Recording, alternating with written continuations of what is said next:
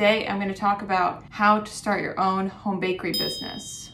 So once you start selling, you're going to want to buy bulk ingredients. I like Costco or Sam's Club or something like that, but also I mentioned in my other video that Webstaurant is a good place to buy bulk ingredients. Then I would, when you pick your business name, I would recommend going and just signing up on all social media. Even if you don't think you're going to use it right away, get your Instagram, Facebook, Twitter, TikTok, LinkedIn, like make sure that you can get your business name on every one of those. And this is something, the social media is something you can get going before you even have the license. So if you are waiting for your licensing to come through and all of that stuff, I would still start taking pictures of whatever you're selling and start posting it and kind of hyping it up and creating a following on your social media before you even sell.